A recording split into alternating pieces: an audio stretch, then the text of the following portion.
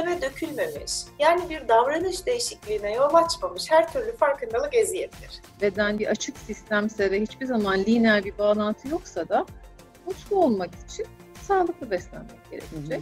Dile getirmediğimiz, adını koymadığımız her duygu bedende kendini gösteriyor. Biz hiç su içmeyiz. Ben hiç su içmem. Yani hiç içmesem aklıma gelmez ya da günde bir bardak içerim. O kadar çok şey var ki. En çok kendimizle yalnız kalmaktan, kendi hayatlarımızın içine hapsolmaktan yorulduk bu 9 ayda.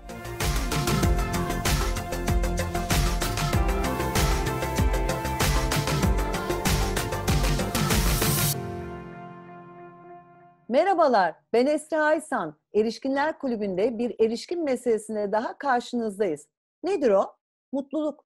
Evet, ağızdan böyle bir çırpıda kolayca çıkan mutluluğu nedense gerçek hayatta hissettiğimizden pek bahsedemiyoruz. Hayat bir acılar sürecidir. Bazen mola verir ve biz ona mutluluk deriz diyenler de olmuş mesela.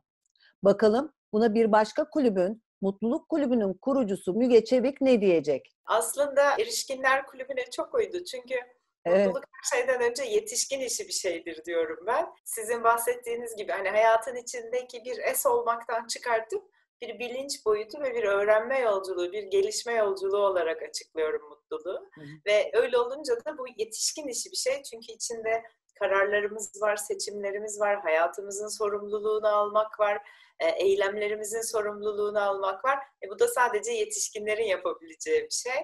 E, dolayısıyla anlık bir şey olmaktan çıkartıp biraz daha zamana yaydığımız, hayatın içinde öğrendiğimiz bir bilinç boyutu, bir bilinç düzeyi benim tanımımda mutluluk. Merak ediyorum sizin mutluluk dediğiniz peki hayata tutunma prensipleri midir yoksa daha fazlası mı? Benim mutluluk dediğim yaşamı karşıladığımız bir pencere aslında.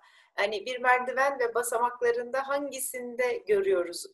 Çünkü başlangıç basamaklarından baktığınızda hayatı çok daha küçük bir pencereden, çok daha dar bir alandan, sadece ve iyi ve kötü ayrımından görürüz. Ama daha yüksek basamaklara çıktığımızda ve bakışımız büyüdüğünde her iyinin içindeki kötüyü, her kötünün içindeki iyiyi, aslında bütün bunların iç içe geçtiğini görürüz. Dolayısıyla mutluluk bir duygu olmaktan çok bir yaşamı karşılama e, yılmazlığı, olgunluğu, e, her zorluk karşısında insanın içinde bulduğu, tekrar tekrar doğurduğu belki yaşam sevinci, zorluk dediğimiz şeylere yüklediğimiz anlam. Yani kocaman bir paketten bahsediyorum aslında mutluluk dediğimizde.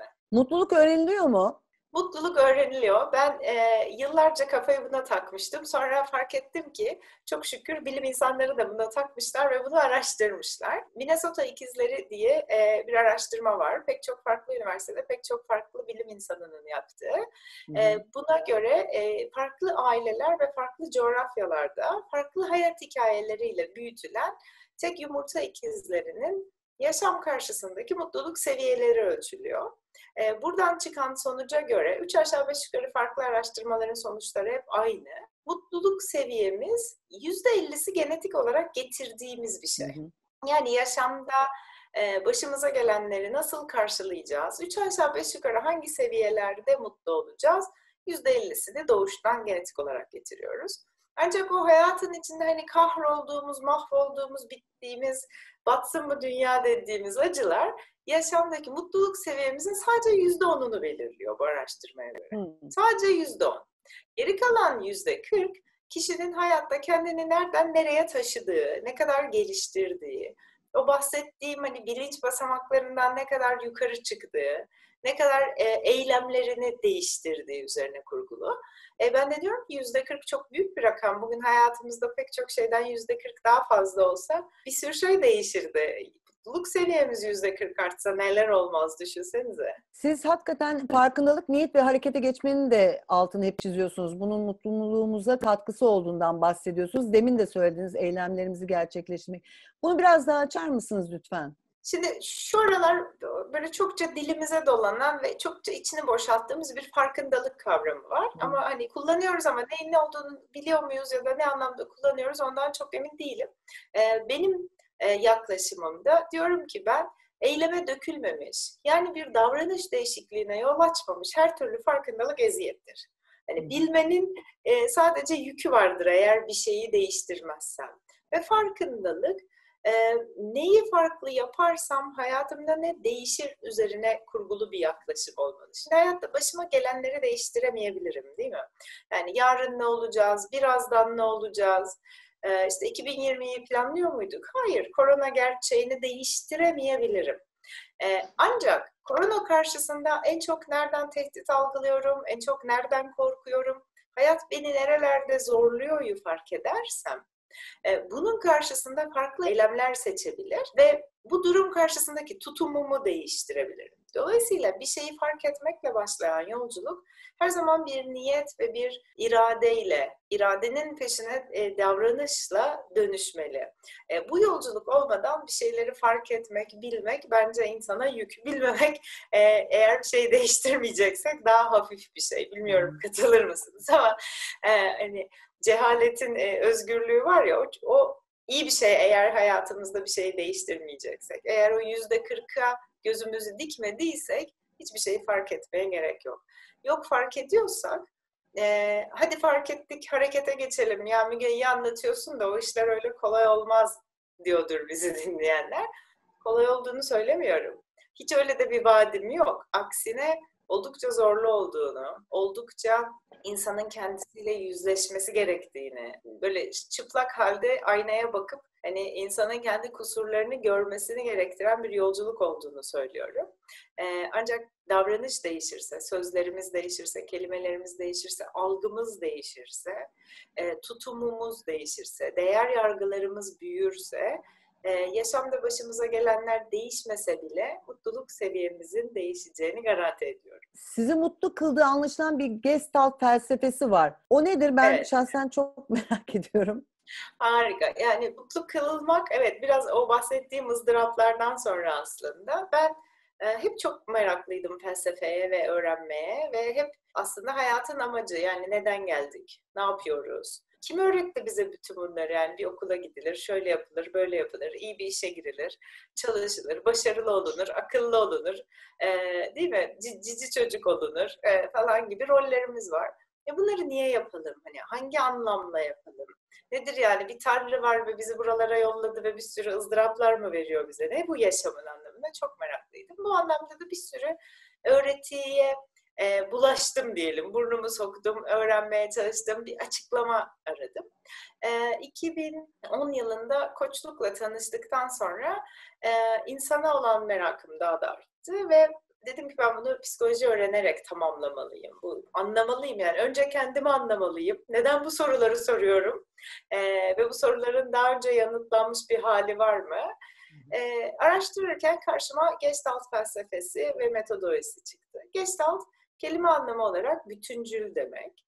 Ee, bu, burada da beni en çok etkileyen şey insanı, bedeni, duygusu, zihni ve tinselliği, ruhuyla yani manevi boyutuyla ele alıyor olması. Ne hepimiz sadece akıldan ibaretiz, ne sadece bedenden ibaretiz, e, ne duygularımız her şey değil mi? Ama bir manevi yönümüzde olmazsa bir anlamsızlık ve boşluk oluyor.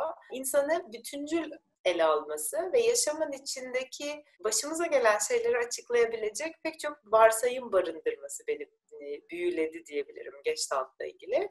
Ee, hani en başta bahsettiğim o bilinç boyutunda büyüme, iyinin içindeki kötü, kötünün içindeki iyi bütünselliğine beni taşıyor olması e, Gestalt'la ilgili e, en sevdiğim aslında bakış açısı oldu diyebilirim. Bugünlerde peki nasıl mutlu olacağız? Yani az önce de değindiniz hani başımıza geldi, korona var ve hayatın diğer çileleri de bitmiyor aslında sadece korona da yok. Aslında böyle hap şeklinde bir e, tarif e, en çok sorulan şeylerden biri biz hap seviyoruz böyle formüller ve haplar. 9 adımda şu 15 adımda bunu falan seviyoruz ama yani böyle adımlarım yok maalesef. Keşke olsaydı. E, sadece birkaç tane alanda ne yapabiliriz onu söyleyebilirim. Dinleyenler de belki oradan kendilerine bulabilirler. Pozitif psikoloji yani varlığını e, ruhsal olarak sağlıklı insanların yaşam kalitesini arttırmaya adamış psikolojinin alt dalı e, mutluluğu beş temel taşıyıcı kolonda açıklıyor. Hı hı. Diyor ki eğer şu alanlarda e, kendinize yüksek puanlar verirseniz siz ben mutlu biriyim diyebilirsiniz. Bunlardan bir tanesi gün içinde ne kadar çok pozitif duygu üretiyoruz. Yani zeminimizin ne kadarını da olumsuz duygular var, ne kadarında olumlu duygular var. Dolayısıyla şimdi e, izleyenler bir karar verebilirler. 24 saatin ne kadarında iyi duygular üretiyorlar, ne kadarında endişe, korku, kaygı gibi duygular üretiyorlar. Ve bunların hepsi koronaya mı bağlı yoksa sosyal medyada gereksiz zaman kaybedip e, bir, şeylere hasetlenip yanlış sosyal referanslarla herkesin hayatı çok güzel, benimki rezil mi diyorlar. Çünkü e, başımıza gelen gerçeklik dışında da zihinsel olarak ürettiğimiz bir sürü e, negatif algı var. Birincisi pozitif duygular. E, ikincisi yaşamda kendimizi e, adadığımız bir anlam. Neye angajeyiz? Yani evdeyiz ve sadece yemeye, içmeye, e, ekmek yapmaya ve günlük hayatı sürdürmeye mi angajeyiz? Yoksa yaşamın daha büyük resminde bir şeyler yapacak bir tutkumuz var mı? Bu bir hobi olabilir, bu e, yeni bir şey öğrenmek olabilir. Bundan sonraki hayatta ya da bu süreçte bu kapalı kaldığımız günlerden cebimize bir şey koyarak çıkmak olabilir. Kendimizi adadığımız ve adanmış hissettiğimiz ne var? E, üçüncüsü şu ara en çok zorlandığımız güçlü ilişkiler. Yani biz düştüğümüzde bize el verecek, bizi yukarı çıkartacak. Bir şu ara yüz yüze olmasa bile alo dediğimizde sohbet ettiğimizde içimizi açacak ne kadar ilişkimiz var. Bunu çok önemsiyorum ben şu ara. Bence en çok buradan gol yiyoruz. en çok buradan hırpalanıyoruz. Ee, bir diğeri e, anlam. Yaşamda bütün bunların anlamını nerede buluyoruz? Bir anlam yüklemek zorundayız. Yani e, işte bitti öyle bir zamana da denk gelmişiz ki dünyanın da en kötü zamanı. Yani 1400'ler bundan daha mı iyiydi? Daha mı güzeldi hayat? Daha mı kolaydı? Daha mı konforluydu? Anneannelerimizin hayatı çok daha yumuşak mıydı bizimkinden? Hani e, biraz orada e, anlama bakmak lazım. Ne anlam yüklüyoruz ve ne bekliyoruz? E, bu anlamı da e, biraz böyle pompalanan Hollywood filmlerinden bağımsız sorgulamak lazım. Hani her şey çok güzel olacak. Böyle bir kontratımız var mı bilmiyorum. Benim yok ki herhangi birinin varsa e, yani kan, epeyciyi kandırılmış böyle bir kontrat yok. E, ve son olarak da ne başardık? E, bence şu son 9 ayda akıl ve ruh sağlığımızı koruyarak geçebilmek, sevdiklerimizi korumuş hmm. olmak, bireysel sorumluluğumuzu yerine getirmiş olmak değil mi? Varsa işle ilgili sorumluluklarımız onları bile yerine getirmek, yeni bir şey öğrenmek bile bir başarı. Dolayısıyla bu beş alanda Nerede en çok zorlandıysa izleyiciler bu zor günlerde. İlişkilerde mi zorlandılar, anlam bulmakta mı zorlandılar, e, pozitif duygularda kalmakta mı zorlandılar? Bu beş alanda nerede zorlandılarsa orada bir şey yaparak daha kolay geçeceğiz. Ama e, burada vurguyu şuraya yapmak istiyorum ben. E, evet bu zor günler çok daha globalde geldi. Herkesi vurdu. Yani bana daha çok, size daha az, işte Tijen Hanım'a torpil geçti falan değil. Hepimiz bir yerlerden tehdit algıladık ve hepimize eşit riskteyiz aslında. Yarın öbür gün bu sınavı versek de çok daha bireysel zorluklar da gelebilir. Bugün nerede zorlandıysak, o alanlarda tabiri caizse ve tırnak içinde akıllanmazsak, yani akla gelmezsek, e, yarınki sınav daha da şiddetli olacak biz ayılana kadar olacak. Dolayısıyla bu bugün her ne yaşıyorsak ve nerede zorlanıyorsak e, orada bir yol bulmak lazım. Benim bir gözlemim var. E, bilmiyorum sizler katılır mısınız? Ama bence en çok kendimizle yalnız kalmaktan, kendi hayatlarımızın içine hapsolmaktan yorulduk bu 9 ayda. Çünkü neyi seviyoruz, neyi sevmiyoruz, neden keyif alıyoruz, kendimizle yalnız kalınca nasıl vakit geçiriyoruz bunu bilmiyormuşuz. E, ve hep e, ilişkilere pansuman yapıyormuşuz. Gezerek, tozarak ve sosyalleşerek pansuman yapıyormuşuz. Bunlar ortadan kalkınca hani şey fes düştü, kel göründü günler oldu. Yani. E, belki buralara bakmak lazım. E, bedenden gelen uyarılar, hastalıklar, hafif rahatsızlıklar ve ağrıları da duygularımızla ilişkilendiriyorsununuz. Bunun da bir açıklamasını alalım sizden. Yani gönül isterdi ki benim böyle bir buluşum olsun ama bu tabii beni çok aşan kadim bir öğreti ve geç tatlı da pekişmiş bir öğreti. Burada aslında şunu hepimiz yaşarız bazen. Bir ortama gireriz, o ortamda çok iyi hissetmeyiz. Yeni biriyle tanışırız ve ya çok severiz ve çok iyi duygular hissederiz ya böyle bir geriliriz ve geri durmak isteriz. Ama adını koyamayız. Hiç de bir şey olmamıştır. Her şey çok yolundadır. Ee, aslında o bilinçaltımızın yani aslında ilkel tarafımızın bedenimizdeki yansımasıdır. Ee, ya bizi korumak üzere kurguludur ya da burada güvendesin ve rahat et demek istiyordur ama biz adını koyamamışızdır. E, bu günlük hayatın içinde defalarca olur. Sıkıntılarla olur, üzüntülerle olur, zorluklarla olur. Biz onu zihnimizle çözdüğümüzü sanırız. Hani hallediyoruz. Her şey kontrol altında. İşte pek çok kadın Türkiye'de görüyorum zaten jonglör gibi böyle e, 50 tane şeyi aynı anda yapıp bir şekilde top çevirip hayatı normal yürütüyor ama bütün bunlar olurken ben iyi miyim? Keyfim yerinde mi? Korktum mu? Üzüldüm mü? Sevdiklerim için endişelendim mi? Yoruldum mu? Bunları düşünemiyoruz. Ama o bizim düşünemediğimiz olumsuzluklar bedende bir yerlerde patlıyor. Dile getirilmediğinde, görülmediğinde kendiliğinden yok olmuyor. Ee, bir yerlerde kendini göstermek için kapıyı çalıyor diyorum ben ona. Yorulduğumuzda ve çok yük aldığımızı düşündüğümüzde belimize vuruyor, sırtımıza vuruyor. Yüzleşmek istemediğimiz bir şeyler olduğunda bazen boynumuza vuruyor değil mi? Bazen yaşamda böyle çok sağlam duramadığımızı düşündüğümüzde dizlere vuruyor, ayaklara vuruyor. Tabii bunlar herkes de böyle olacak diye bir şey yok ama çok genel geçer şeylerden bahsediyorum. Hiçbir şey olmasa bir kafa karışıklığı yaşadığımızda hafif bir nezle oluyoruz. Değil mi? İşte ne bileyim öfkelenince bazen sesimiz kısılıyor, bir ateşleniyoruz. Böyle şeyler dile getirmediğimiz, adını koymadığımız her duygu bedende kendini gösteriyor bir mesaj veriyor, kapıyı çalıyor. Açabilirsek alıyoruz mesajı. Açamazsak o kendini gösterene kadar daha şiddetli çalmaya devam ediyor. Beden, duygu ve zihin bütünlüğü mutluluğa giden yolda belli ki mottomuz olacak. Peki ya size bağırsak floranızdaki bozukluğun mutluluğunuza engel olduğunu söylesem? Çünkü mutluluk hormonu olan serotonin hormonunun %80'i bağırsakta sentezleniyor. Buna bir de gluten intoleransı olan bazı çölyak hastalarının aşırı sinirli, öfkeli ve depresyona yatkın olabileceğini eklesem, anlayacağınız beslenme ile mutluluğun çok yakın bir ilişkisi var. Şimdi Doktor Tijen Acarkan'ı anlatacakları olacak. Çünkü hastalarına bu konuda çeşitli tedavi yöntemleri sunuyor. Hastalık ve sağlık mutlulukla çok ilgili ilişkili. Kronik hastalığı olan, ağrıları olan, beslenmeyle ilişkili, bağırsak problemi olan bir kişinin çok mutlu olmasını beklemiyoruz. Dolayısıyla mutlu olabilmek ve sağlıklı olabilmek çok paralel giden şeyler. Ve maalesef sağlıklı olmak da, mutlu olmak da emek istiyor.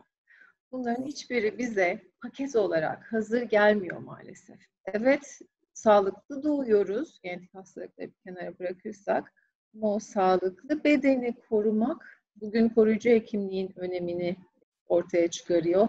Doğum şeklinin önemini vurguluyor ve beslenmenin önemini zaman içerisinde e, özellikle de bu pandemi dönemiyle dengeli bağışıklık sistemi diyerek beslenmenin önemini de hep beraber anlıyoruz. E, bağışıklık sistemi bugün hastalıklardan korunmak, iyileşmek ve hasta olmamak yani sağlıklı yaşanmak için temel sistemlerimizden biri.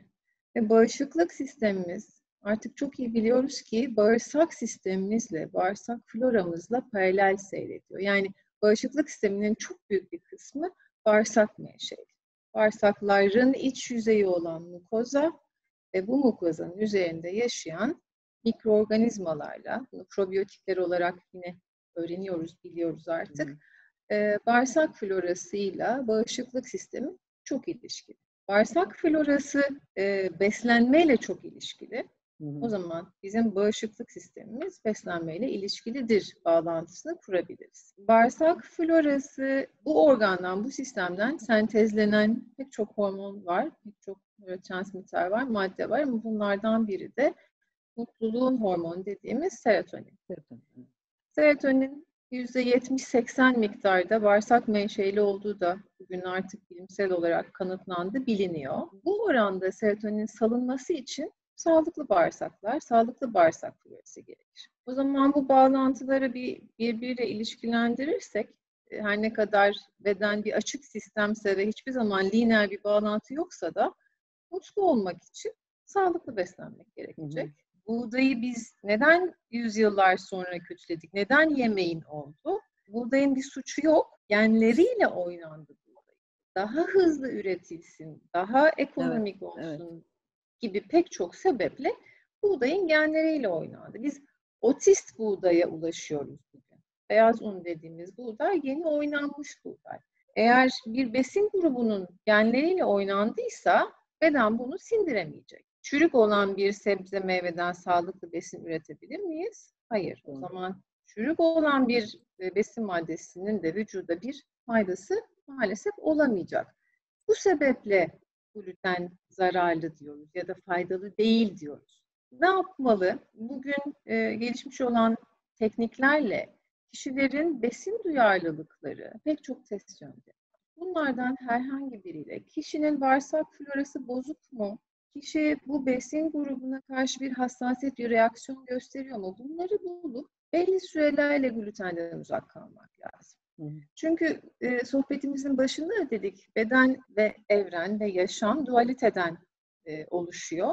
İnsan sağlığının da bütün sistemlerin çalışma mekanizması dengeyle ilgili. Bedenin varoluşu itibariyle bütün sistemlerin e, çalışma prensibi dengeye ulaşmak. Uyku dengesi, su dengesi, kalbin pompalama dengesi hep bir range var, hep bir sağlıklı aralık var. E, işte glutenden uzak kalacaksak ne zamana kadar bağırsak florası sağlıklı hale gelip beden kendisini artık iyilik halini devam ettireceği zamana kadar. Yoksa yaşam o kadar güzel ki yasaklardan ibaret bir yaşamın içerisinde mutluluğu hedeflemek çok da kolay değil sanırım. Yani ömrünüz boyunca gluten yemeyin ya da laktoz tüketmeyin. E, yeryüzündeki tüm besin kaynakları çok şanslıyız insanlar için ve her lezzet çok güzel. Ama yine burada da denge önemli. Dengeli besleneceğiz. Hastalarıma verdiğim örneklerden biridir. Katı diyet süreleri içerisinde işte bir yılbaşı denk geliyor, bir doğum günü denk geliyor. İşte şekerli bir şey yemeyeyim mi, yasak olan bir besin grubunu tüketmeyeyim mi diye sorarlar. Derim ki bir bakın o besine. Yemenizi hak ediyorsa yiyin. hak ediyorsa yemeyin. Laktozla ilgili şehir efsanesi. Tabii laktoz maalesef süt sağlıklı mıdır değil midir bir şehir efsanesi konu. Bizler ihtiyacımız olan sütü doğadaki tüm canlılar gibi annelerimizden alıyoruz. Hı hı. İhtiyacımız bittiğinde de bitiyor. Ee, yine doğada bir başka türün sütünü ana besin kaynağı gibi kullanan başka bir canlı yok. Hı hı. Eşek ineğin sütünü içmez. Ee, inek keçinin sütünü içmez. Neden insanoğlu ineğin ve keçinin başka bir türün sütünü içsin? İçsin ama çok faydalı, işte osteoporozu da e, engeller, kalsiyum kaynağıdır gibi e, güçlü sloganlardan artık uzaklaştık. E, çünkü alerjinin, yorgunluğun, bağırsak florası bozukluğun, pek çok hastalığın sebebinde daha küçük yaşlardan laktoz intoleransı olduğunu biliyoruz. Bunun da birkaç sebebi var. Ya enzim eksikliğidir, ya flora bozukluğudur. Bunlar ayrı ayrı gruplar. Ee, yine glutende olduğu gibi burada da belli süre süt içeren e, besin gruplarından uzak kalmak lazım. Bizim çok sık değişlerimizden biridir. Soframızdan şu besin grubu eksik olmaz. Bu iyi bir şey değil, eksik olmalı. Çeşitlilik çok önemli, dönüşüm çok önemli. Her besin grubunu her gün, her kahvaltıda, her akşam yemeğinde değil. İdeali üç günde bir. Değişimli ve dönüşümlü beslenme de sağlıklı floranın, sağlıklı bedenin olmazsa olmazlarından biri. Bu nöral tedaviden bahsediyordunuz bir de. Bununla bağırsak beslenmesinin sağlanması ne demektir? Nöral terapide kullandığımız şey bir lokal anestezik maddenin prokain ya da lidokain ismindeki bir maddenin önemli yerleri, özellikli yerlere yapılan enjeksiyonudur nöral terapi. Ee, çok temel bir regülasyon tedavisidir. Nöral terapiyle vücutta üç tane dolaşımı arttırırız kan dolaşımı, lenf dolaşımı ve sinir dolaşımı. Biraz önce söylediğim fizyopatolojik, sağlıklıdan hastalıklıya geçişte yani hasta olunan organda, sistemde, bedende bu üç dolaşım bozulur. Yani, yani bir e, nasıl... birinden biri değil, yani bu üçten biri değil. Üçü de birden mi bozulur hasta eğer bir organ bir evet. organ hastalanmışsa? Üçü de birden evet. bozuluyor. Evet, çünkü bir organ düşünün, mide, bağırsak herhangi biri ne olacak? Kanlanacak. Kan akımı olacak. Orası beslenecek.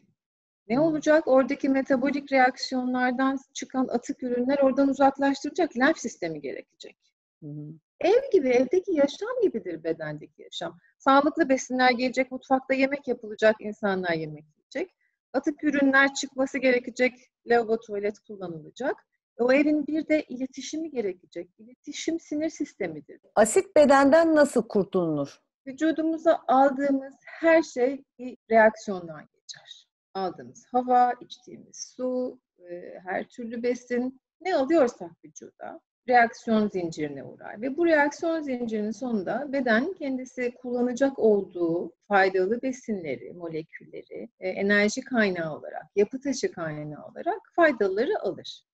Atılması gerekenler de bu proses, bu işlem sonrasında atılım fazına geç. Atılacak yine tıpkı evdeki gibi.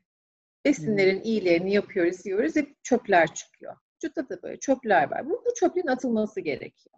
Belli başlı atılım yollarımız var. Bağırsaklar çok önemli temel atılım yolu. Mesane idrar bir atılım yolu. Ter bir atılım yolu. Nefes bir başka atılım yolu. Vücut her yerden emip alabildiği gibi tüm sistemlerinde bir atılım sistemi. Eğer alım ile atılım arasında denge bozulursa, yeterince atamazsak, vücutta bu çöpler birikmeye başlar. Evet. Bu çöpler de kimyasal olarak hidrojen ağırlıklıdır. Hidrojen temel asit molekülüdür. Bu hidrojenin birikiminin yani çöplerin birikimini yarattığı şey asidoz Tıbbi olarak bilinen metabolik asidoz bunlar çok ağır tablolardır. Burada başladığımız hastalıkların en temeli ya da sağlıksızlığın sağlığımızı kaybettiğimiz noktadaki ilk birikimlerdir asidik metabolitlerin, çöplerin vücutta yığımlanmaları. Daha anlayacağımız şekilde örneklendirelim. Halk arasında romatizmanın kireçlenme diye bildiğimiz şey nedir? Asit birikimidir. Ne oluyor? Orada asit molekülleri özellikle kalsiyumla birleşiyor. Nerede çöküyor? Eklem çevresinde çöküyor. Niye orada? Çünkü orası alkali. Bu kireçlenme dediğimiz şey çok temel, tipik, en bildiğimiz asidoz tablosudur. Yorgunluk, mental hiçbir şey olmadan, sebebi olmadan her şey aynı giderken çözüm ona e, anlamlandıramadığımız, COVID de olmayan bir yorgunluk tablosu varsa bedende birikim vardır. Peki ya da adı konamayan ağrı tablosu. Sabahları böyle yataktan kalkarken her taraftaki gerginlik hali, esneme ihtiyacı bunlar tipik asidoz belirtileridir. Ya da cildin bozulması, cildin pütürlü hale gelmesi, e, sağlıklı ten renginin kaybolması, kuruması, sivilcelenme, cildin kokusunun değişmesi. Bunların hepsi vücuttaki birikimlerin klinik işaretleridir en basit olarak. E, işte biz buna asitleşme, latent asidoz diyoruz. E, latent asidoz müdahale edilmediği, düzenlenmediği sürece işte bu fizyopatolojik sağlıktan hastalığa geçiş döneminin ilk evreleridir beden sağlığını kaybetmeye başlar. İşte bu asidozun içerisinde çevresel kaynaklı e, kimyasallar da var, besinlerden aldığımız o yıkanma modellerini konuşuyoruz, besinlerden aldığımız maddeler de var, egzoz gazındaki ağır metaller de var. Her türlü vücuda giren şeyin atılamayıp biriktiği haldir asidozun sebebi. Peki kimler daha kolay asidik hale gelir ya da asidik alımlar nelerdir dersek bunların en başında susuzluk asidozun çok temel sebebidir. Yeterince su içmek son peki nedir bu yeterlilik? Ee, bir iki litre dolaşıyor. Bunu da hep aynı örneği veriyorum. 50 kilo çıtır pıtır bir bayan da 90 kilo bir yarı bir bey de ikisi de mi 2 litre içecekler? Bir, şey var. Bunun bir fizyolojik sınırı olması gerekiyor. Bu da kilo başına 40 mililitredir kişi 60 kilo çarpı 42 400 su olarak sadece su olarak günlük ihtiyacımız var. Düzenli olarak su almak e, asidozu önlemenin en temel yollarından biri. Susuz hayat gerçekten öyle. Biz hiç su içmeyiz. Ben hiç su içmem. Ben hiç içmesem aklıma gelmez ya da günde bir bardak içerim. O kadar çok kişi var ki bir şekilde Türk insanı e, su içmeyi sevmiyor. Çünkü çay seviyoruz. Artık daha kahve seviyoruz. Susuzluk bir reflekstir aldığımız herhangi bir sıvıyla susuzluk refleksi ortadan kalkar, susamıyoruz zannederiz. Su içtikçe bu refleks hareketlenir ve susuzluğu anlarız, su içmenin değerini, kıymetini anlarız. Özetle su olmazsa olmaz. En sevdiğimiz besinler asidik. Karbonhidratlar asidik, Hmm. gluten içeren besinler asidik, şeker ve şekerli şeyler asidik. Bunların hepsi temel asit kaynakları. Hatta protein grupları da asidik. Evet sağlıklı, kırmızı et sağlıklı, beyaz et sağlıklı, peynir, yoğurt sağlıklı ama onlar da asidik. O zaman İşte burada her şeyi kararında tüketmek işte önem taşıyor ve dönüşümlü az önce bravo. bahsettim. Aynen öyle bu devreye giriyor. Hepsini de- yani sabahleyin siz peynirinizi yediniz, yumurtanızı yediniz, sonra öğlen tekrar atıyorum et yediniz, işte ekmek tükettiniz, makarna tükettiniz. Yani bu bir gerçekten asit patlaması anladığım kadarıyla. Aynen. Aynen öyle bir asit yüklenmesi. Bunun yanına bir de çay kahveyi ekleyin, bir de Tabii. sigara tüketenleri ekleyin. Beden sürekli Tabii. bir asit alımı içerisinde. Doğru. Ee, ama denge derken yine burada sağlıklı ama asidik olan besin gruplarını da şöyle diyoruz. Yanında alkali grupla beraber tüketin. Hı En alkali olan şey de yeşil yapraklılardır. hı. Sabah kahvaltısında da çok işlem görmemiş, çok kesilmemiş, çok e, soslanmamış, mümkünse doğal haliyle yeşil yapraklılar her yediğiniz besinde öğünde yeşil yapraklı tüketin ki o asit e, dengesini sağlayabilelim diyoruz. O kadar önemli bir diğer şey de fiziksel egzersiz, hareket etmek. Yine hareketsiz, sağlıklı bir beden çok mümkün değil. Covid döneminde evde oturmalarla beraber yine egzersizin de ev egzersiz programları da bilinir, konuşulur oldu. Bu çok güzel. Neden egzersiz önemli? Egzersiz lenf sistemini çalıştırır. Temizleyecek olan sistemi çalıştırır. Lenf sisteminin çalışması, oksijenin artması bunların hepsi bedeni temizlemek için olan e, aktivitelerdir. Bir diğer önemli şey de uyku. Kaliteli Hmm. uyku. Kaliteli uyuyacağız ki steril uyku ortamında uyuyacağız karanlık, elektrikten uzak, cep telefonu kapalı, Wi-Fi kapalı bir ortamda gece kıyafetleriyle, evdeki eşofmanla değil, uyku hazırlığıyla güzel uyuyacağız ki melatonin hormonu sentezlensin. O da serotonin yolağını harekete geçirsin ve mutluluğa bir adım, bir, dönemimiz daha olsun elimizde. Ben beslenme konusunda hemen bir karbonat mucizesini de eklemenizi rica edeceğim. Nedir bu? Nasıl kullanmalıyız? Markette satılan karbonat işimizi görüyor mu? Bu asit hani e, bedenden arınmak için bir karbonat işimize yarar mı? Ee, Esancığım şöyle, asidin karşıtı, yine o dualitedeki bir diğer uç, asit ve alkali, asit ve baz. Asidin karşıtında onu dengelemek için olan molekül de bikarbonat. Hı hı. Yani bildiğimiz İngiliz karbonatı. Ama ben e, sürekli olarak ya da her gün ya da her suyumuzun içerisine bir karbonat damlatılmasını hiç sağlıklı bulmuyorum. Neden? Çünkü bu bedenin yaratılışına bir hata bulmak gibi olur o zaman. Hmm. Şöyle ki bizim midemizin pH'i, midemizin asitlik oranı 2,5-3, 2-3 aralıkta. Hı. Bu ne demek? Çok asidik. Son derece asidik. Neden mide pH'i bu kadar asidik? O yediğimiz her gıdayı özellikle et grubu, proteinleri, katı gıdaları parçalayabilmek için bu kadar asit. E şimdi siz 7-7,5 bikarbonatlı suyu içtiniz. Okey o gün iyi geldi, ilk günlerde iyi geldi ama bunu her gün yaptığınızda mide pH'ini zorluyorsunuz. Çünkü mideye inen o alkali suda mide daha çok pH salgılayıp dengeye gelmeye çalışıyor ya. Dolayısıyla siz mide asidini nötrlemeye başlıyorsunuz. Uzun süre sonra, uzun vadede hazımsızlık problemleri, mide pH'inin bozulması, mide florasının ve bağırsak florasının bozulmasına istemediğimiz faktörlerden biri olarak karşımıza çıkıyor. O zaman nasıl bir periyotta O, kullanmalıyız? zaman, Bir de o zaman ne yapacağız? Bir kere yeterince su içildiği zaman Hı. midenin kendi mukozası, mide bağırsak sisteminin kendisi bikarbonat salgılayan Doğru. mukoza hücreleri çalışmaya Evet. başlayacak. Evet. Gerek kalmayacak. Ama hani çok istiyoruz. Peki sabahları bir bardak karbonatlı su içmek yeterli olabilir. Bir bardağa sistemi- yani ne kadar karbonat koyuyoruz? bir çay kaşığı kadar yeter. Markette satılan bildiğimiz karbonat üzerinde yazan paketlerden bahsediyoruz mesela değil mi? Ben kendi hastalarıma çok tavsiye etmiyorum ama popüler konu olarak sorulduğunda hani kişi sorarsa bana evet marketlerde satılan, eczanede satılan İngiliz karbonatı dediğimiz karbonat bir çay kaşığı kadar bir bardak suya karıştırıp sabahları bir kez aç karnına içmek bir zararı yok. Dönem dönem. Hiçbir şeyi ömür boyu yapmamak lazım. Hiçbir Doğru. şey sürekli. Bir supplementi 5 yıl kullanılmaz bir vitamin mineral grubu 5 yıl boyunca. Doğru. Çünkü Hı. vücut hazır gelen bir şey gördüğünde üretmesini bırakır. Hmm. Dönemsel olarak bir dönem. Hı hı. Ama dediğim gibi yeterince su, sağlıklı dönüşümlü beslenme, hareket eden bir vücudun dışarıdan alacağı sürekli karbonat ihtiyacı yoktur. Ee, ama ben muayenehanemde bir de bikarbonatlı serum tedavileri yapıyorum.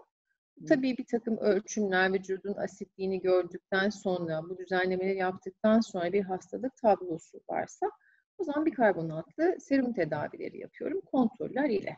Bedeni mutlu etmek için az önce uykuyu söylemiştiniz diğer unsurların yanı sıra. Ee, birisinin bağışıklığı arttırmak için sunduğunuz formüllerden biri de her gün duş almak. Suyla insan mutluluğunun, bağışıklığının ilişkisini anlatabilir misiniz lütfen? Burada belki çok objektif olmamış olabilirim çünkü ben suyu... Ben bunu tahmin ediyorum da. E, suyun ama Ben hepimize suyu- iyi geldiği de muhakkak. Yani sıkıntılarımızdan da arındığımız, belki Müge Evet. Da bu konuda ekleyecekleri olacaktır. el yüz yıkamak, bir ferahlamak diye bir şey vardır. Çünkü beden değişince duygumuz değişir, ilgili duygumuz değişir. Dolayısıyla hani ben hiç daha bir duştan çıkıp da kötü hisseden görmedim değil mi? Kötü olamaz ya da kişisel bakımını yapıp eee, bu, bu- bütün bunların özgüvenle, öz şefkatle, öz sevgiyle de tabii ki çok çok ilgisi var. Yani çok uzun konular. Eee, fiziksel sağlık bir yana ama o kadar iç içe geçmiş durumda ki bunlar. Eee, sağlıklı olduğumuzda, gerçekten sağlıklı olduğumuzda çok kötü duygular üretmemiz ya da çok kötü duygular üretirken çok sağlıklı olmamız maalesef mümkün değil. Hani e, bir kişi bir şeyi nasıl yaparsa aslında her işi öyle yapıyor. Yemek yeme, uyku, sağlık, e, o kadar birbiriyle örüntülü ki kendinize nasıl bakıyorsanız yaşama öyle bakıyorsunuz. Yaşama nasıl bakıyorsanız yaşam da size öyle bakıyor. E, bedeninizi neyle doldurursanız, neyle doldurmaya razıysanız hani o yiyecekte söylediğiniz gibi bunu hak ediyor mu diye duyguları da öyle öyle dolduruyorsunuz ya da fikirleri de öyle dolduruyorsunuz. Ne kadar filtre koyarsanız e, bedene ne kadar filtre, akıllı ve seçimli e, filtreler koyarsanız duygulara ve zihne de öyle filtreler koyuyorsunuz. Böylece e, dış uyaranlar her zaman orada ama daha az etkileniyorsunuz. E, dolayısıyla burada bir de benim hakkımda şey var. Tizi Hanım'ın e, yorumunu da çok merak ediyorum. Şimdi bu serotonin deyince tabii bizim biz kadınların aklına ne geliyor? Güzel bir parça çikolata yemek geliyor ama ben hep e, mutluluk anlatırken mutluluğu hazdan ayırarak anlatmaya çok özen Evet. gösteriyorum. Evet. Bedenden gelen hazdan başka bir şey olduğunu altını çiziyorum. Diyorum ki haz da çok kötü bir şey değil. İyi ki haz duygumuz var ki bu yaşamdan da keyif alıyoruz. Bazen çok güzel bir şey yediğimizde, çok sevdiğimiz bir şey içtiğimizde, harika bir çiçek kokladığımızda. Ee, ancak bu e, uğruna yaşanacak bir şey değil. Yaşamın içinde okey Daha seninle sürdürülebilir bir mutluluk için siz aslında öneriler getiriyorsunuz. Haz duygusu çok önemli ama hazın peşinden gitmemek de yine bir denge aslında. Çikolata çok güzel bir şey yani dediğim gibi kadınların ve hemen herkes ama daha çok kadınların sevdiği temel bir besin grubu. Suistimal etmemek önemli. Gerçekten zaman zaman ihtiyaç varsa evet ama suistimal etmemek önemli. Mesela e, kimler tatlıya daha çok ihtiyaç duyuyor? Ba- Bazı kişiler var ki tatlıyı çok severim. Her yemekten sonra tatlı isterim. Tatlısız yapamam diyen. Bunların her birinin bir mekanizması var. Yemekten sonra tatlı isteyen bir vücutta insülin mekanizması bozulur. Yemek karbonhidratlı yemek sonrası insülin çok salgılanır. İnsülin daha çok şeker ister. Oradaki şeker tatlı ihtiyacı hastalık grubu, insülin mekanizması ile ilgilidir. Akşama doğru daha çok şeker isteyen bir kişinin muhtemelen bağırsak florasında bağırsak mantarı vardır. Bağırsak mantarı tatlıyla, karbonhidratla beslenir. Kontrolsüz isteklerin muhtemelen bir sebebi var. Ama küçük keyifler, insan olmamız sebebiyle bunları hak ediyoruz zaten. Ee, o yüzden çikolata da faydalı bir şey diyebilirim. Ee, Siz danışanlarınıza gerekli durumlarda hipnoz da uyguluyorsunuz. Hangi Evet. durumlarda uyguladığınızı ve bunun sonuçlarını bizimle paylaşır mısınız? Belki kendini müzmin, mutsuz addedenler için bu bir son çare de olabilir. Eğer fizik bedeni toparladıysak, yaşamsal doneleri düzenlediysek, gerekli vitamin mineralleri yerine koyduysak, toksinlerden arındıysak ve hala çözemediğimiz bir şey varsa orada küçük dokunuşlarla daha çok telkin bazlı hipnotik tedavilerde yapıyorum. Ama gereken bir derin regresyon tedavisi ise uzun seanslar geçi ihtiyaç olan bir şey ise orada psikiyatri eğitimi almış olan meslektaşlarıma gönderip hipnoz önerisiyle yönlendiriyorum açıkçası. Böyle yapılmasını da gönlüm diliyor. E, çünkü hipnoz eğitiminde hiç aklımdan çıkmayan bir e, hikaye anlatmıştı hocalarımdan biri. E, sigara bırakma konusunda hipnoz e, tedavisi talep eden bir bayan e, işte hekime gidiyor. Kişiler dilinin yapılan şeylerin önemini vurgulamak adına anlatıyorum. E, çok derin bir anamnez almadan, neden sigara bağımlısı olduğu tam araştırılmadan hızla hipnoz seanslarını alıyor. Hızla da sigarayı bırakıyor hipnoz tedavisiyle. Bundan çok kısa bir süre sonra da maalesef vaka intihar ediyor. Sonra araştırılıp bakıldığında o kişi neden sigara içiyor?